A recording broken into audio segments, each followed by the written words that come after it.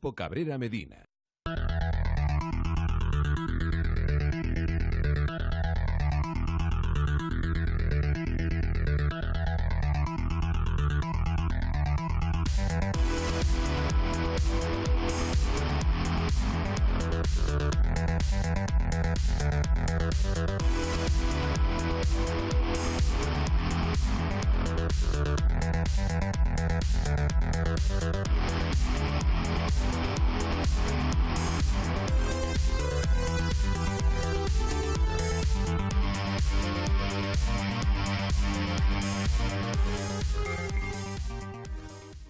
Buenas, bienvenidos a este programa resumen del 37 Rally Orbecame Isla de Lanzarote, última prueba del Campeonato Autonómico de Canarias de Rallys de Asfalto 2015.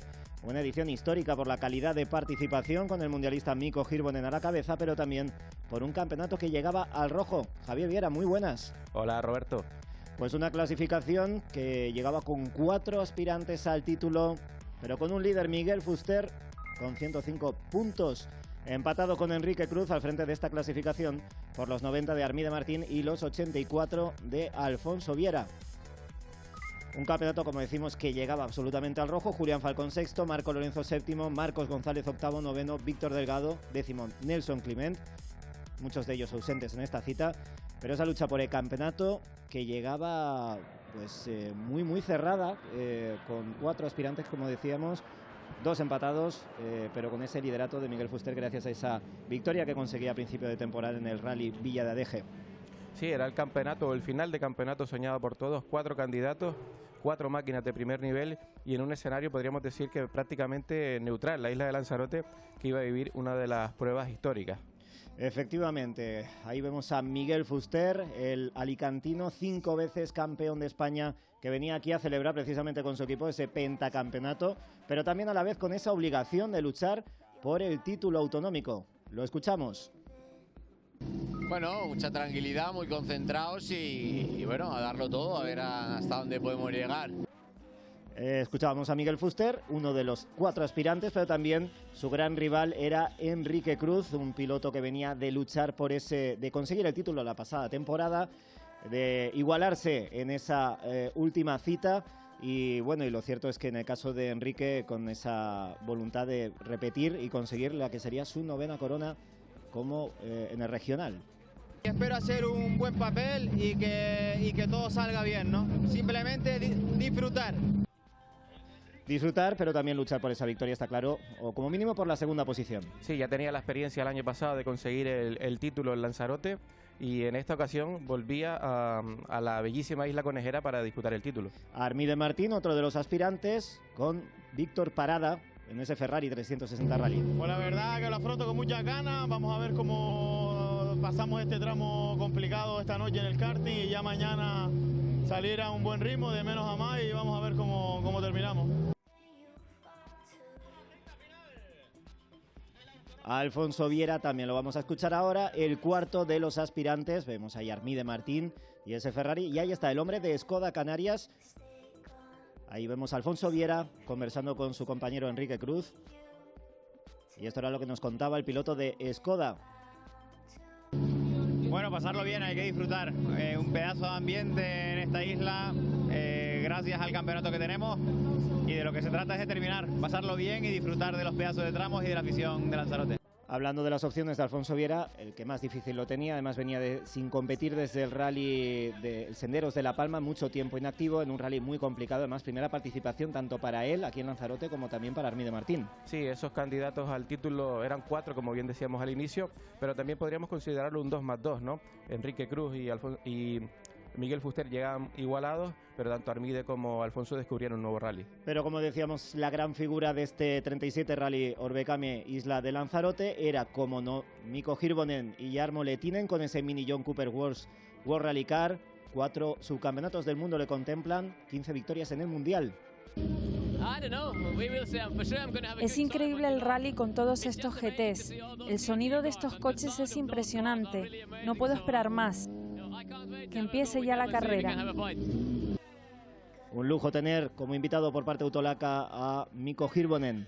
Sí, si ya la lucha por el título autonómico era un regalo para los aficionados, la presencia del finlandés era la guinda del pastel. Y otro de los hombres que iba a ser protagonista, aquí lo vemos, Jerey Lemes, lo sería, a pesar de venir de esa mala racha de resultados. Bueno, con muchas ganas y mucha ilusión de volver otra vez, de estar subido arriba de un Porsche. Y nada, ya que este año no nos han salido las cosas como nosotros queremos, pues quiero hacer un buen rally en mi isla, estar en la meta y estar en los puestos de cabeza. Y todo esto tengo que agradecer solo una vez más a Donás El Ramos y a todo su equipo Autolaca por darme otra oportunidad. Con todos estos ingredientes, claro, muchísima expectación y ambiente en las instalaciones de Orbecame, empresa lanzaroteña que una vez más hacía de anfitriona de este rally. La verdad que contento y también agradecerle de aquí a toda la afición y a todos los, que componen este grupo que han hecho un esfuerzo para que esto hoy se haga realidad. Y la verdad que lo estamos viendo, el público que ha asistido y creo que es bueno para la isla Lanzarote y yo creo que es el mejor rally que se ha hecho en la isla Lanzarote. Y tras las verificaciones y la ceremonia de salida, la actividad se centraba en ese primer tramo del rally, el tramo espectáculo del karting de San Bartolomé a la vuelta. Repasamos qué pasó en esa super especial. Pasamos la vida buscando esos pequeños momentos del día a día que nos dan la felicidad. En CICAR te ayudamos a encontrarlos. Conozca Canarias con nosotros. CICAR, el alquiler de coches en Canarias. Como decíamos, cae la tarde y vamos a ese tramo espectáculo del karting de San Bartolomé, ambiente el propio en una cita de este calibre, Javier. Efectivamente, Roberto, era el día, la hora señalada para el inicio de este Rally Orpecame Isla de Lanzarote, con un tramo espectacular. Ahí vemos ese recorrido de 1,36 kilómetros, una especial muy virada y en la que iban a sufrir muchísimo, estaba previsto que sufrieran mucho pues los GT, no así los World Rally Car. Este hombre estaba llamado a hacer un buen papel y efectivamente lo hizo, primer líder de esta carrera. No defraudó Mico en su inicio, en su primera toma de contacto con el Isla de Lanzarote. A la primera de cambio lograba ganar eh, la especial, se ponía líder en su debut en el Isla de Lanzarote y lo cierto es que no defraudó a los miles de espectadores. Con una conducción, con una conducción efectivamente muy, muy espectacular, siendo tan rápido como efectivo y haciendo bailar ese mini John Cooper Works World Rally Car que ya había probado a principios de semana y con el que ya se había mostrado muy rápido, con muy buenas sensaciones. Y decíamos que tramo dificilísimo para los GT que tenían que defenderse en este tramo tan estrecho, tan virado, pero ahí apareció, como no, las manos de Geray Lemes que hacía sus primeros kilómetros realmente con esta versión 2010 del Porsche 997 GT3. Sí, los dos debutantes, Hirvonen con el Mini y Geray con el Porsche 2010, sorprendían porque eran el 1-2 en este inicio del rally eh, Orbecam Isla de Lanzarote. Y, también Alfonso Viera, que después de cinco meses se volvía a subir a la Escuela Fabio Rally Car y al final pues copaba las tres primeras posiciones, ¿no? sabía, sabía el Gran Canario que se la tenía que jugar en este tramo para sacar cualquier diferencia que sacara iba a ser buena porque al día siguiente sabía que iba a sufrir, como efectivamente así fue. Y ahí estaba el Gran Canario y el palmero Víctor Pérez con ese Skoda Fabio World Rally Car, pues eh, dejando muy buenas sensaciones también a los aficionados. Otro hombre que se dejó la piel para hacer un buen papel, para empezar con eh, una, de una buena manera este rally Orbecame Isla de Lanzarote era Miguel Fuster en una situación similar, Javier, eh, sabiendo que al día siguiente iba a perder tiempo y tenía que ganar, eh, vamos, toda décima iba a ser buena en su lucha con Enrique Cruz. Sí, pero en cierta manera también el cinco veces campeón de España minimizó daños, podríamos decir, en este difícil recorrido, tortuoso para los GT, pero no le salió mal jugada tampoco en este inicio. Y siempre en este tipo de tramos hay sorpresas. Jesús María Lemes y Raico Santana rapidísimos. Eh, vamos, la motivación máxima para los equipos locales y el caso de Jesús María Lemes fue uno de ellos. Suso Lemes nos tiene acostumbrados a estas actuaciones y también Rubén Curvelo con una conducción entre espectacular y muy rápida, muy efectiva.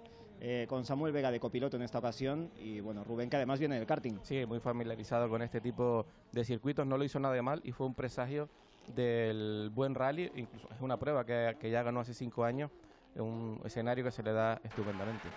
Y ahí estaba Enrique Cruz, que perdía algún tiempo. Era, bueno, un tramo para pasarlo, repetimos, en el caso de los GT. Y Enrique Cruz y Aridei Bonilla, que empezaban pues su, su defensa del título realmente en este rally Isla de Lanzarote, Orbecame, Isla de Lanzarote en este tramo. Eh, rápido, sin complicarse, es un tramo en el que también la transmisión sufre mucho y Enrique lo pasó sin, sin demasiados apuros y sin complicarse mucho la vida. Sí, la diferencia que se dio en esta noche del viernes podría parecer importante si nos fijamos en el precedente de hace dos años, pero al final tampoco son más, no tienen más incidencias, ¿no? Armi de Martín con el Ferrari que también lo intentaba y bueno, y veíamos esa cámara interior y esa conducción como siempre espectacular. En el caso del Ferrari un coche, vamos, de los favoritos por parte de muchos aficionados por ese sonido, por ese color, por esa marca. Sí, a primera vista eh, era una conducción muy de tiralíneas, aunque en esta curva eh, se equivoca un, un pelín pero realizó una conducción muy de tiralíneas y el tiempo al final tampoco fue tan bueno. Otro equipo lanzaroteño, Aníbal Machini y Jordi Díaz con ese Renault Megane Coupé, eh, pues logrando la novena posición a 7,9 segundos del scratch, en un papel muy positivo para ellos. Sí, los pilotos modestos también aprovechan este tipo de trazados para colarse en las primeras posiciones, como es el caso también de Aitami Afonso, con una conducción en este trazado súper espectacular también. Al día siguiente también sufriría, pero también sería uno de los protagonistas a su manera en esta, en esta cita esperada por todos los equipos conejeros.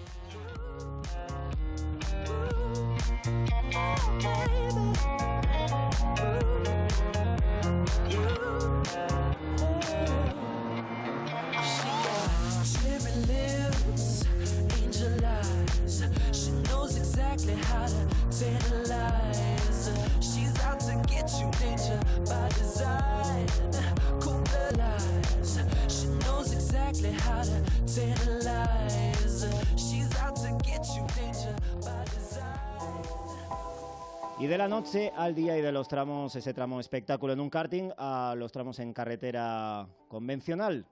Ese paisaje espectacular de la isla de Lanzarote en este rally que encaraba su segunda etapa y además eh, lo hacía con la clasificación liderada.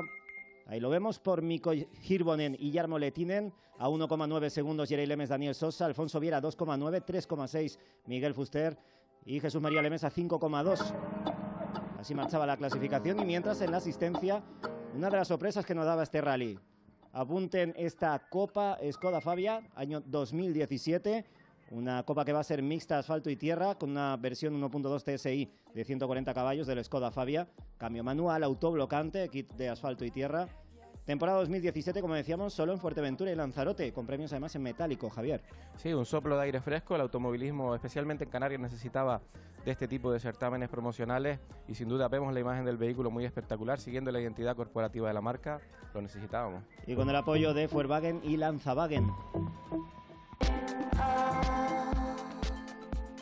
Como decíamos, el tramo espectáculo de ese karting a tramos ya en carretera convencional. Taballesco, Los Valles, Javier, 14,14 kilómetros, siempre con esa velocidad intrínseca en todos los tramos lanzaroteños. Sí, además visitando la histórica subida de Aría, que se lleva buena parte del kilometraje de esta zona de la isla, y la inversión del tramo, todavía más difícil porque buena parte de este recorrido era en descenso. Efectivamente, tanto el anterior como este en dos ocasiones, tramos 2, 3, 4 y 5, y completando estas dos secciones cruciales por la longitud. San Bartolomé, la Candelaria, este mucho más rápido todavía, 7,03 kilómetros. Mucho ambiente como siempre, el público que acudía en masa a alguna de las zonas más emblemáticas de estos tramos cronometrados. Eh, el público obviamente tenía que llenar las especiales porque estaba esa figura mundialista, insistimos cuatro veces su campeón del mundo, 15 victorias en el mundial, Miko Hirvonen, Jarmo Letinen, con esa velocidad y con esa técnica propia de pilotos finlandeses. Sí, Miko empezaba liderando el rally con ese tramo espectáculo, pero también estaba claro que a las primeras de cambio iba a ser difícil mantener el, el ritmo que imprimen estos tramos y a la primera de cambio, pues como decía, se dejaba algunos segundos importantes que también veríamos cómo la repetición de los tramos iba a ir eh, mejorando sus registros con una importante mejora en décimas por kilómetro que le acercaban a esa lucha por la victoria. Le arrebataba el liderato eh, Lemes, pero eh, efectivamente intentaba defenderse, pero en cualquier caso, problemas mecánicos le llevaban a abandonar la rotura del diferencial delantero después de la disputa del sexto tramo, que ya lo venía, venía arrastrando esos inconvenientes pues eh, le llevaban hasta, pues bueno, primero a perder tiempo, luego parecía que ese problema se solucionaba, pero en el sexto finalmente tiraba la toalla, llegaba la asistencia, pero ahí terminaba su camino. Sí, el cuarto y quinto tramo lo realizaba con problemas, pero no cedía, no cedía mucho tiempo, pero ya en el sexto ya el problema fue mucho más grave. Efectivamente, lo suficientemente grave como para tener que abandonar el rally. Uh, uh, Finalmente ha estado relacionado con el diferencial delantero. Empezamos a tener problemas después de la asistencia. Algo se rompió y lo apreciaba al frenar. En el último tramo antes de esta asistencia, desafortunadamente el diferencial se ha roto completamente y debemos retirarnos. Estoy muy feliz con esta oportunidad, pero no pudimos hacer nada ante esta situación. Realmente disfruté mucho. Y obviamente disfrutó, hizo disfrutar también a la afición canaria que se dejó muy buena impresión, no solo en los tramos, también fuera de ellos. Sí, completó prácticamente el 70% del, recorrido, el 60, el 70% del recorrido y ha sido el gran premio de esta edición. Y en estas condiciones, Yeray Lemes y Daniel Sosa que tenían un camino un poco más libre en esa lucha por la victoria, en una, bueno, una actuación quizá por encima de lo que se esperaba, porque recordemos, venía de dos accidentes seguidos y Yeray Lemes y Daniel Sosa que se colocaban líderes desde la segunda especial y ya no lo abandonaban. Sí, desde el arranque del día nunca fueron las diferencias eh, muy amplias entre, todo, entre los eh, principales favoritos del rally, pero Yeray era favorito, es favorito siempre en casa y aunque estrenara coche, como ha pasado en otras ocasiones, eh, pues ya a las primeras de cambios estaba arriba en la cabeza. Cinco victorias nada menos para el piloto hasta esa fecha y ahí estaba el hombre que estaba luchando por el título junto a su copiloto Aridai Bonilla, Enrique Cruz y ese Porsche 997 GT3 Cup R. Y ahí estaba, en su camino hacia el título, Jerey Lemes no contaba en esa lucha por el campeonato y él hizo lo que tenía que hacer, que era buscar con ahínco esa segunda plaza y estaba un poco más libre tras ese abandono de Mico Girbonen.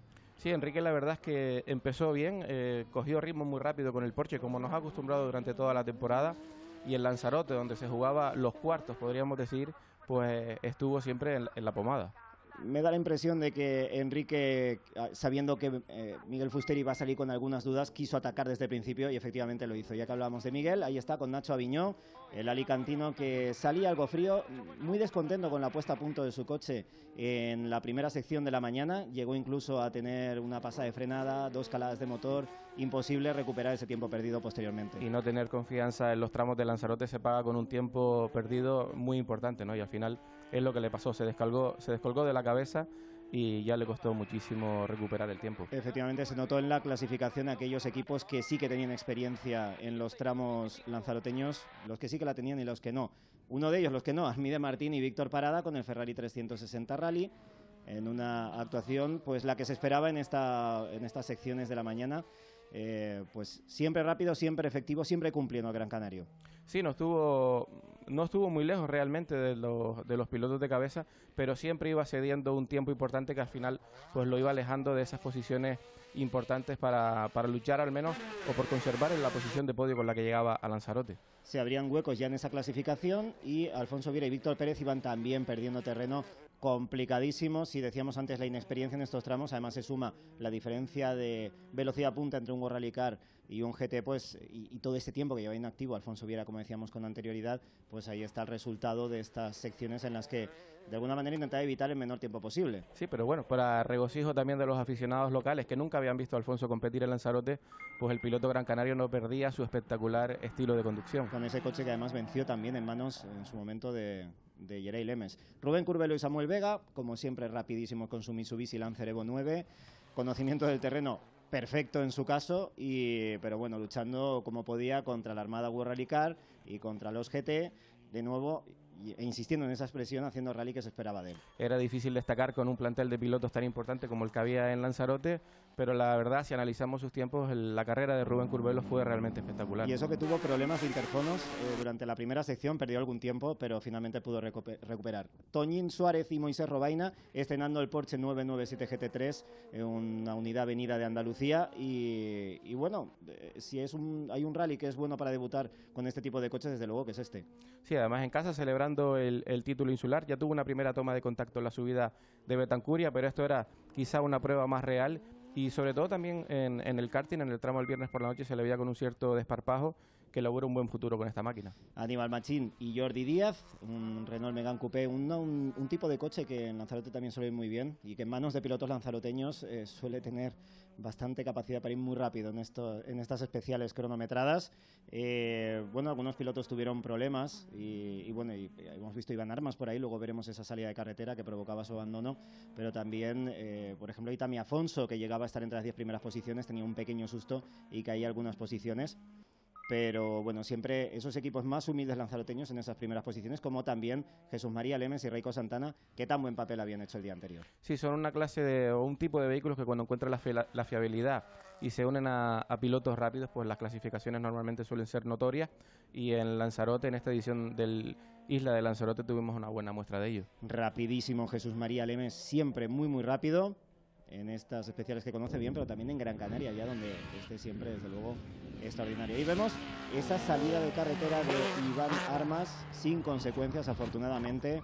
Y bueno, ahí lo vemos, una verdadera lástima, porque era uno de los pilotos más espectaculares, siempre espectacular con su BMW. Sí, no ha tenido mucha suerte, ha abandonado un, par de rallies este año a las primeras de cambio, y la verdad es que cuando se abandona con una salida de carretera, pues las sensaciones todavía son peores.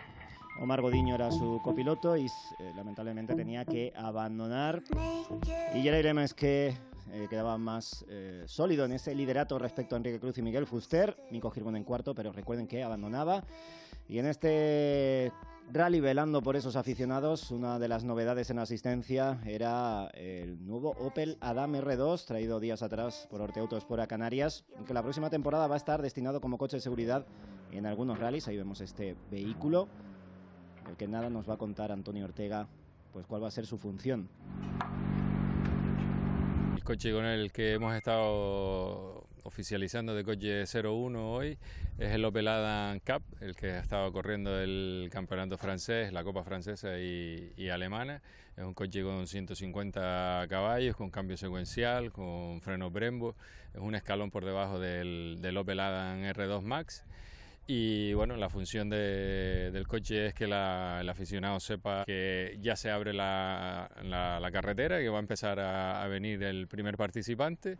Y bueno, y esa es la misión que estamos llevando en este rally de Lanzarote. La idea es eh, con Orbecame y, y, SICAR el próximo año, el grupo Cabrera Medina, estar en todos los rallies que ellos patrocinen, los ocho, las ocho pruebas que ellos tienen, eh, oficiando de Coche 0 o Coche 01.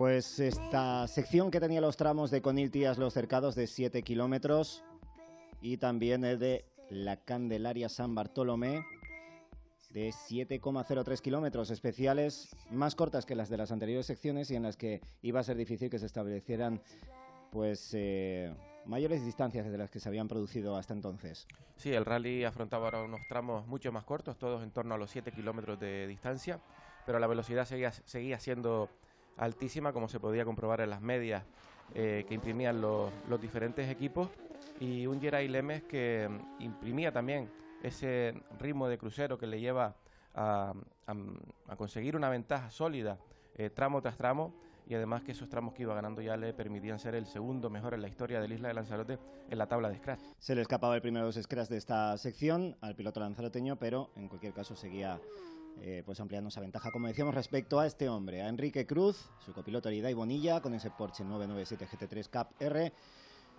que andaba pues eh, ya pensando en el título. Aquí era el punto de inflexión de alguna manera en la que ya se establecían las diferencias suficientes como para empezar a administrar de cara a la consecución de ese nuevo título. Sí, realmente a Yeray le convenía que no hubiera guerra, a Enrique también, a Yeray le, viene muy bien le venía muy bien la victoria y a Enrique que los tramos se sucediesen cuanto antes mejor, porque el título estaba ya a la vuelta de la esquina. Y realmente así pasó, que acabó pues con una ventaja que acabaría administrando en, los tramos finales respecto a Miguel Fuster y Nacho Aviñó, los eh, levantinos, el, piloto alicantino, que en este caso pues tenía 6 segundos en el TC7, casi 5 en el siguiente, seguía perdiendo tiempo el, alicantino que había llegado a atacar en algunos momentos, pero que había visto que, era incapaz de poder ponerse a la altura de, esos dos equipos de cabeza.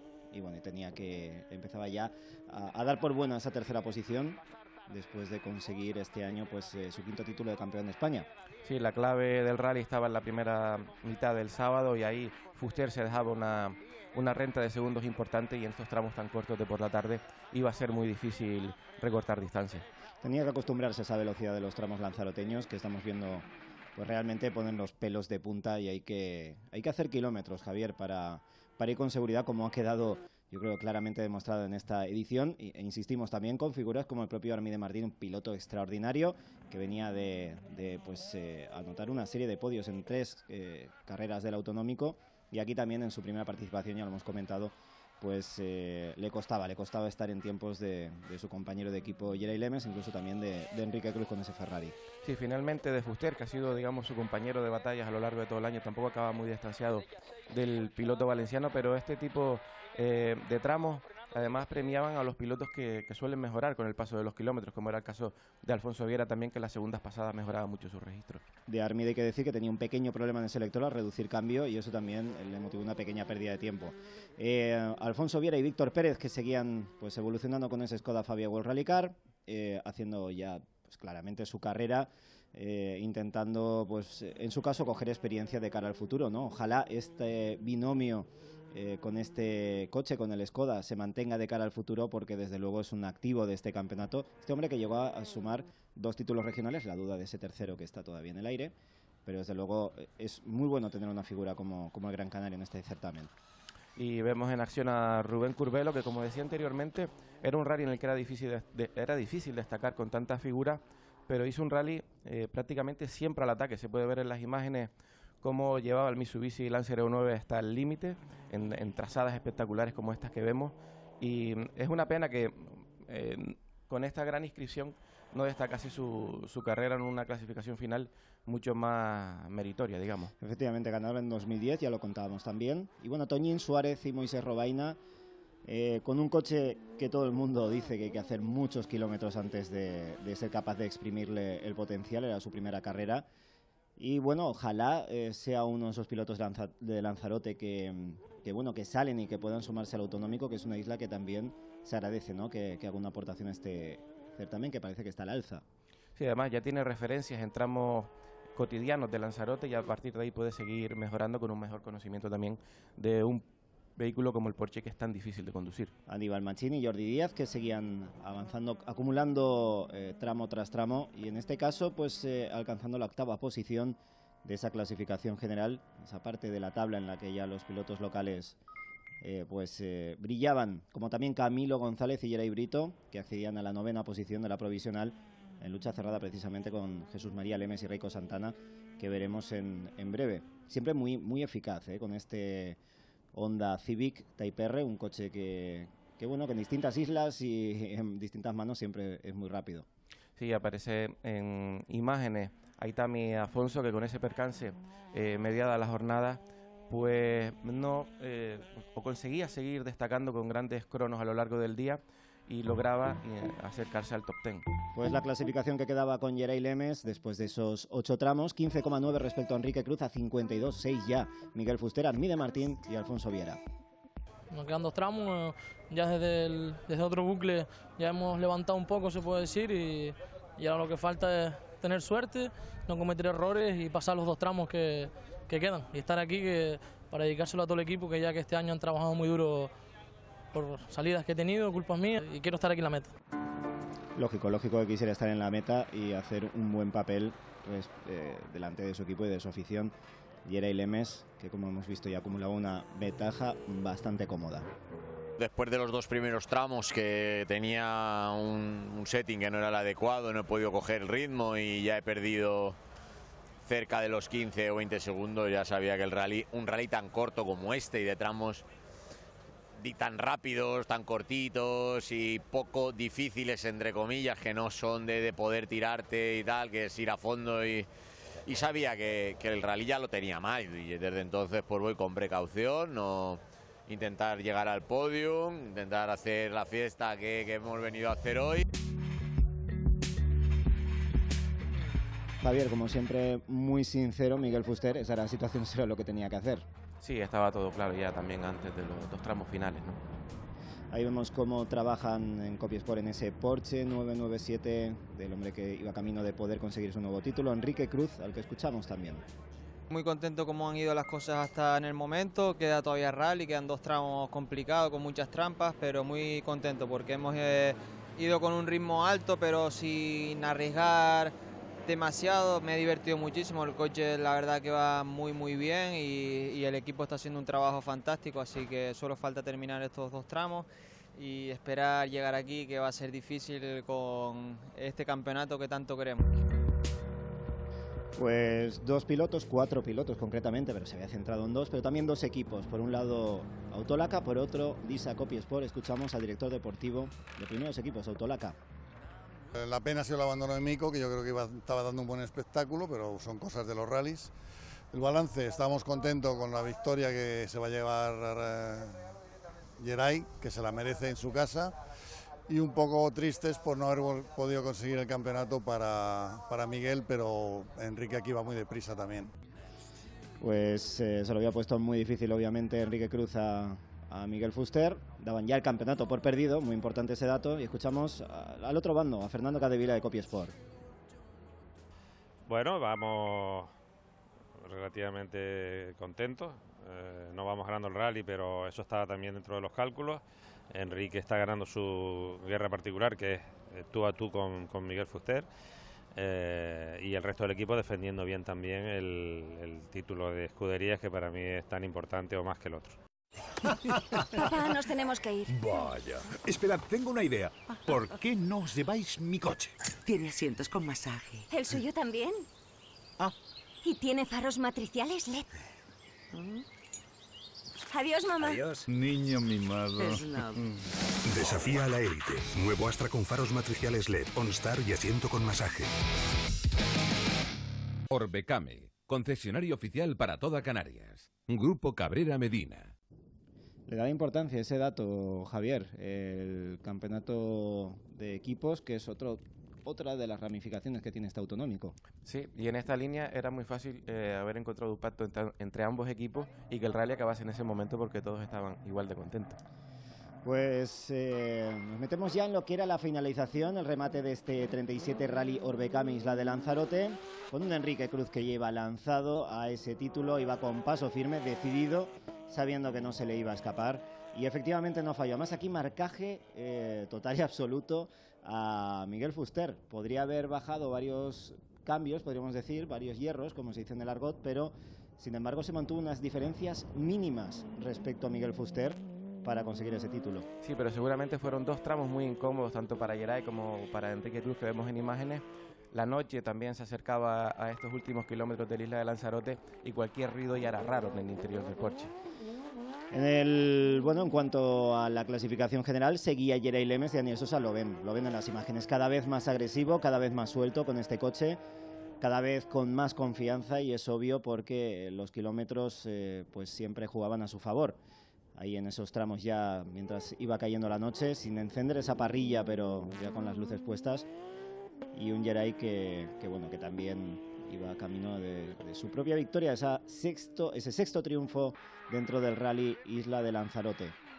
Y para Fuster, como hace dos años, pues contentarse con un subcampeonato que no es poco, como el de aquel de 2013. Ha sido un año de mucha calidad en la carretera y es un subcampeonato que apenas ha perdido por cuatro puntos y medio. Efectivamente, se le vuelve a quedar esa espinita clavada del campeonato autonómico canario, pero eso también demuestra la calidad que hay aquí. Eso es un, factor, desde luego, que juega a favor del autonómico canario. Y además, en el año que ha conseguido su quinto título de campeón de España, esperemos que sea un aliciente también para que intente lograrlo en 2016. Y ojalá que, bueno, que no sea el único que haga ese camino, que está claro que es porque está el equipo Autolaca eh, detrás, pero ojalá otros equipos de Península sigan el mismo camino del Alicantino, que bueno, que se daba por satisfecho, como decíamos, con esa tercera posición y con poder celebrar desde el podio ese quinto título, esa celebración con todo el equipo de ese quinto título. Armida Martín, que seguía con esos pequeños problemas en el selector del cambio y con así seguía dando espectáculo. Su manera de conducir, el que le ha llevado a ser tan célebre y tan querido entre los aficionados. Y además, un detalle importante: el Ferrari ha acabado todas las carreras que ha iniciado esta temporada, al igual que ha sucedido con Alfonso Viera, que han encontrado en la primera temporada del equipo Copisport con el Fabio Burralicar, pues la fiabilidad de ese vehículo y tanto el Ferrari como Alfonso, que llegaban a Lanzarote como outsider en esa pugna por el título, pues ambos equipos lograban eh, acabar las carreras, sumar siempre puntos, pero lo cierto es que tanto de Enrique como Fuster estuvieron muy fuertes. Y bueno, tanto en el caso de Armide como de Armide Martín como de Alfonso Viera, rompían esa estadística de participación, se contaba por podios, pero eh, insistimos, la experiencia en Lanzarote, qué importante era. Y bueno, en su caso también un piloto muy dado a barrer, un piloto muy dado a, mover mucho el coche, aunque eso vaya en perjuicio incluso de, ese tiempo por el crono. Pero su estilo es fiel y de momento no le ha ido mal. es igual que Gerae, tienen su particular estilo de conducción y ni siquiera el Lanzarote, en el caso de Alfonso, que es un terreno muy muy peculiar, distinto a los del resto de la temporada, pues no perdía su, esa forma de conducir que tiene y que los aficionados tanto agradecen. Y los aficionados que efectivamente agradecían también este espectacular 37 Rally por Became Isla de Lanzarote. Y el recibimiento al campeón, muchísima emoción y es lógico, toda la temporada recuperándose de ese doble abandono en Adeje e Islas Canarias. Y como el año pasado, una segunda posición en Lanzarote que vale un título, un título muy importante en el equipo de Isa Copiesport. Inimaginable porque no solo por mí, sino por todo el equipo, como empezó el año, eh, nos hemos apoyado unos a otros, hemos sacado donde no había, hemos eh, tirado todos para el mismo lado y el Disa Copisport ha demostrado que sigue siendo el mejor equipo de Canarias y para mí eso es un orgullo y, todo esto que pone aquí eh, ha costado muchísimo y, bueno, yo he tenido la suerte de llegar a la meta, de conseguir este campeonato y me alegro por todos los mecánicos, el equipo, Fernando y por la afición que hoy me ha apoyado un montón. Me parecía que estaban en mi isla. Noveno título para Enrique Cruz con 29 años y ahí está el ganador del rally, Yeray Lemes y Daniel Sosa, muy contentos con este triunfo. Bueno, pues siendo el rally de casa, después de toda la temporada que llevamos, con abandono y alguna salida de carretera, pues positivo, ¿no? Acabar la temporada lo mejor posible y ganando el rally en casa. todo esto se lo tengo que agradecer, es gracias a Don Ángel Ramos, al patrón de Autolaca y a todo su equipo, se lo dedico desde aquí. Y nada, la verdad que hoy hemos vivido un gran rally en mi isla, hay que dar las gracias a todo el equipo de Autolaca por, por traer todos estos grandes coches aquí a Lanzarote y como no a toda la afición que hemos vivido un gran rally en el día de hoy. Y de un extremo al otro, ahí está la imagen del hombre que perdía el rally, perdía también el campeonato. Venía a celebrar ese quinto título nacional, pero obviamente Javier, mucho más dulce el sabor si hubiera logrado el título autonómico también. Pero vuelve a acabar en el podio esta temporada.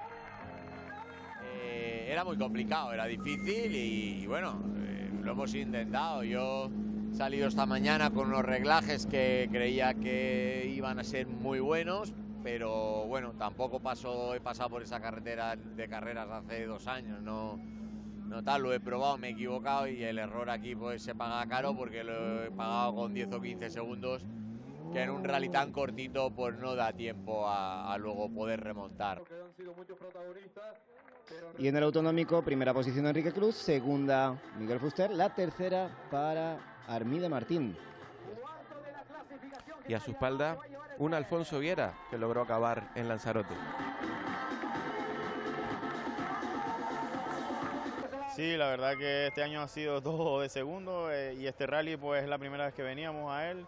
Muy complicado, como siempre se ha, comentado, ¿no? que el rally Lanzarote es muy rápido y muy complicado para los foráneos de, de los que vienen de afuera. Y la verdad que fue así, ¿no? Desde un principio me costó un poco, pero ya en las segundas pasadas mejoraba bastante mis tiempos y poco a poco fuimos mejorando, mejorando cositas en el coche y al final, mira, estamos aquí contentos, el coche enterito y, bien. Como dice mi copiloto, alguna vez tenía que ser la primera, ¿no? Este rally es un rally muy particular, eh, hace falta ir con un ritmo que requiere de experiencia y de haber pasado por los tramos con anterioridad. Y bueno, pues hemos pagado la novatada. Lo bueno es que hemos terminado el rally, que hemos hecho los kilómetros necesarios y por esa parte estoy contento. Aparte de que además hemos contribuido en lo que nos tocaba, a ser campeones de Canarias como equipo. Y la verdad que eso nos, da, nos llena de alegría, esa es la verdad. Y entre los equipos conejeros, obviamente, Yerei Lemes era el más rápido desde esa primera posición y desde la sexta, pues el segundo entre los conejeros, Rubén Curvelo. Un Rubén Curvelo que empezaba muy bien la temporada en el Vía de Santa Brisa y que ha acabado de la misma manera en el Isla de Lanzarote. Toñín Suárez ya lo comentábamos con este coche que estrenaba, y ya lo ven, gustando y gustándose también en ese final de rally con un coche que muy posiblemente le dé muchas alegrías al campeón insular lanzaroteño. A continuación terminaba Aníbal Machini y Jordi Díaz con su Renault Megane Coupé. Eran finalmente octavos. Y la novena posición para Camilo González y Jerey Brito con, con ese Honda Civic. Cerrando el top ten, un Jesús María Lemes en su línea habitual de velocidad, fogoso y siempre efectivo más aún en su tierra. Por categorías, pues Adrián Betancor se lleva el grupo TA, eh, Camilo González lograba el grupo N y tenemos a Marcos González que lograba el grupo N3 y además era campeón autonómico en la categoría 4. Por su parte, sus compañeros de equipo Daniel Santana y Jeremy Mujica lograban la victoria en el grupo N1. Completando esa temporada en ese Junior Disa Copy Sport. Y quinta posición en el autonómico. Y ahí vemos a Adrián Chávez y a Azar Hernández, que vencieron en, el, en la categoría R2 después de hacerse con el título interinsular de rallies en Tenerife. Fantástica la temporada para ellos.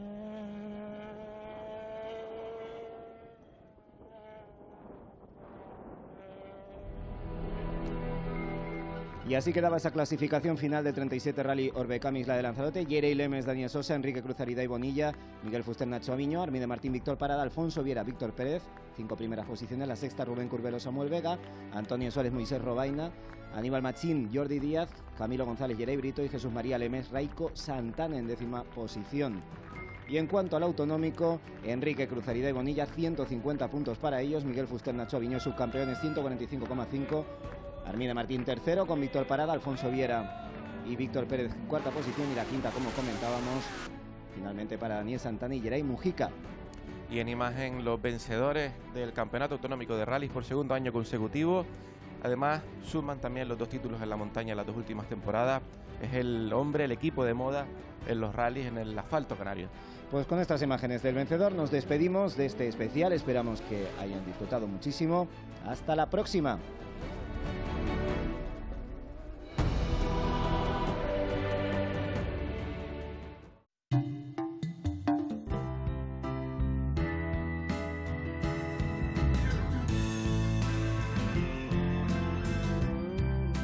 Grupo Cabrera Medina.